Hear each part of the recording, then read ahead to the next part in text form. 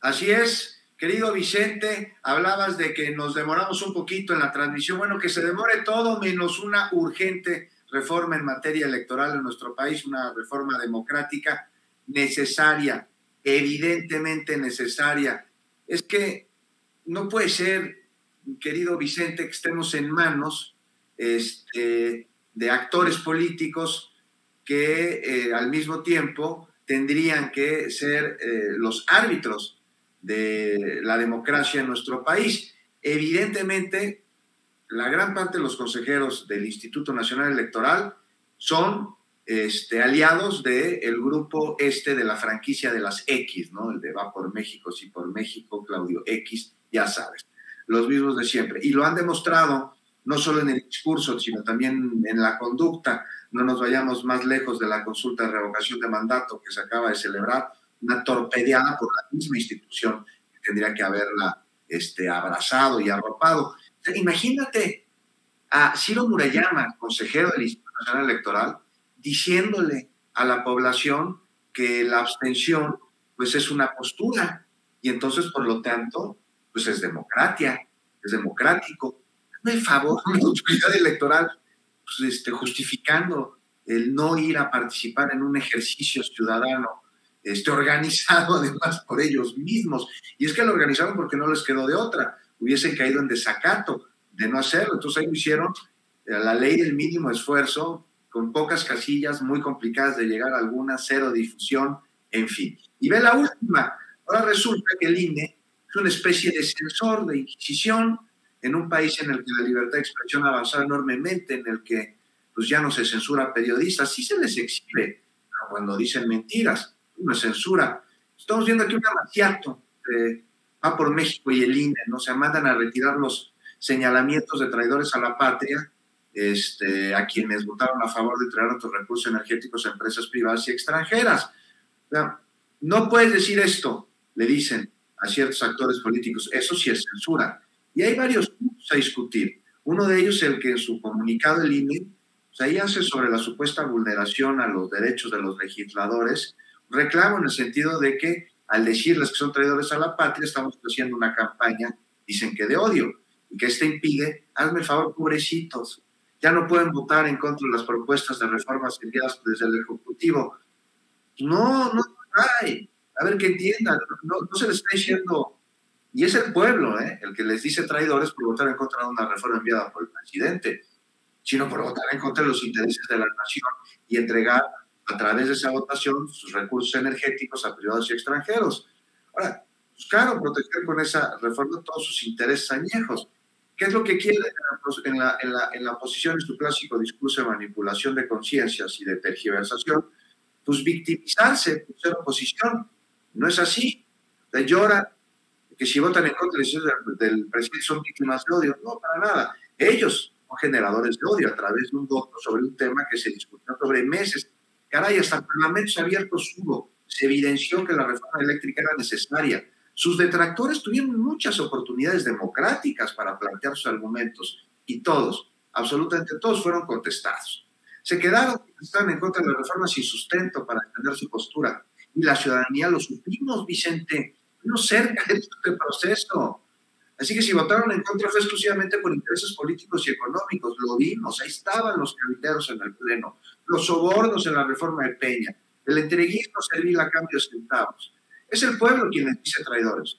Uno que antes de la votación los buscó para exigirles que fueran representantes populares, suyos, Vicente. ¿Consideras, Juan, que esto de traidores a la patria va a seguir tomando vuelo y qué impacto crees que pueda tener en el ámbito eh, electoral a la hora de las elecciones. Hay seis elecciones estatales este año, dos eh, el próximo y obviamente se viene el 2024.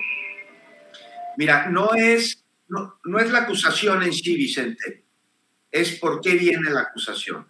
Claro que estoy seguro que va a influir en las elecciones, porque el pueblo está más despierto que nunca.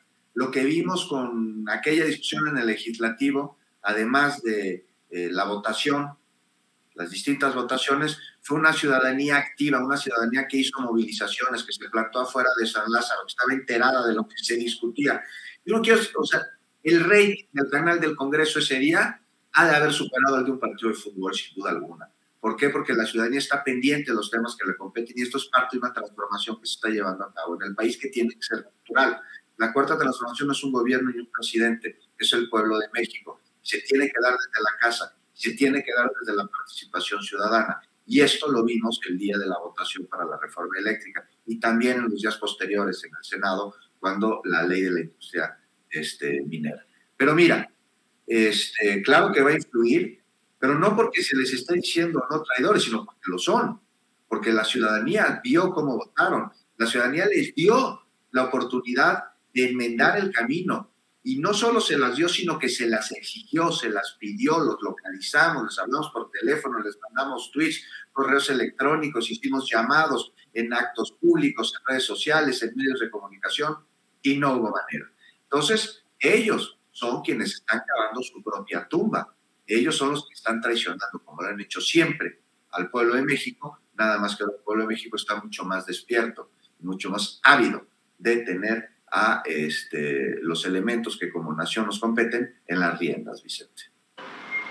Hablando de traiciones, Juan, con esta investigación que se está haciendo de los recursos que presuntamente se triangularon del gobierno de Michoacán, del dinero de todos los michoacanos y michoacanas en tiempos de Silvano Aureoles y que terminaron en Latinus, hoy más que nunca es importante que se transparenten los dineros de los medios de comunicación privados en nuestro país, ¿o no? Pues es un derecho de la audiencia saber quién financia los medios de comunicación. Es elemental, Vicente, para cumplir con uno de los principales retos de nuestro siglo, que es el tener una sociedad que esté bien informada. Y esto, pues, es imposible si no sabemos cuál es la mano que pese la línea. Mira, todos, absolutamente todos los medios de comunicación periódicos, revistas, canales de televisión, estaciones de radio y espacios en línea, en YouTube, en donde quieras, todos tienen línea. Quien diga que el periodismo es objetivo, pues una de dos, o no el periodismo está diciendo mentiras, porque desde el momento en el que decides qué información publicas y cuál no, hay línea. A esto, porque llega un momento en que se te llena tu hora, se te llena tu plana, se te llena tu espacio, tienes que sacar algo. ¿Cómo decides qué sacas? Esto no es objetivo. El sentido que le das a la información no es objetivo, porque los periodistas somos humanos y tenemos posturas. Eso sí, y que quede muy claro, lo que no se vale es que se trate a la ética, ni a la verdad. Pero hasta la nota más simple en un periódico es subjetiva desde el momento en cómo se plantea. Por eso es absolutamente necesario saber cuál es la mano que pese la línea. ¿De dónde viene el dinero? ¿De dónde le cae a los medios de comunicación la lana? Eso no es censura, Vicente. Eso es derecho a la información y es derecho de las audiencias para que podamos conocer pues, cuál es la postura de un medio y de acuerdo a ello y a la información que nos proporciona, tener las herramientas para construir nosotros nuestro propio juicio. No se trata de que no, no consultes a tal medio porque este, lo, lo financia tal. No, sí, consúltalo y ve lo que dice. Es importante saber cuál es su postura. La democracia es el diálogo. No más que también hay que saber de dónde viene su escrito, de dónde viene su postura, de dónde viene su opinión, por qué la construye así. Y en base a eso, construir nosotros nuestro propio juicio, porque pues ahí tenemos el claro ejemplo de Latinos, ¿no? Es muy importante que la audiencia sepa que la fiscalía investiga su financiamiento, uno cuyo esquema podría ser, si los resultados de la investigación así lo comprueban, pues hay nomás Vicente de lavado de dinero y con él añejos intereses pristas bajo el nombre de Federico Madrazo y de Alexis Nikin o sea, hijo y yerno del candidato presidencial Roberto Madrazo y del exgobernador de Michoacán, Silvano Aureoles, el yerno, este, este Nicky Gashiola, y otros también funcionarios de su administración. Entonces, pues si uno consulta a pasquines con patas y a payasos que cantan noticias, es importante saber pues quién les compra la naricita y quién les compra los trajecitos y los departamentos en Miami, para entonces nosotros construir el juicio de acuerdo a los intereses que estos que se autodenominan comunicadores construyen por otros intereses que son económicos. Así es, mi querido Juan, pues siempre es importante para nosotros en Sin Censura que la audiencia escuche tus opiniones.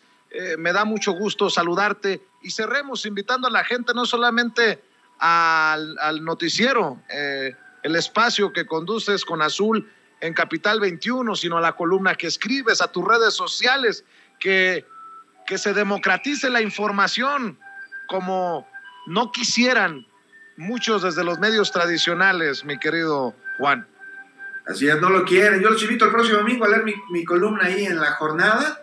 Este, yo sé que les va a gustar. Y pues en Twitter ahí Juan Becerra Costa, ahí me encuentran ahí, estoy dando lata. Querido Vicente, te mando un abrazo bien fuerte, bien apretado a ti y a todos quienes nos escuchan este, este jueves. Te mando un abrazo, ya lo sabe, hay que ver eh, informativos eh, serios, honestos, como el que conduce Juan y Azul en Capital 21 y también busque, pre, eh, busque precisamente a Juan.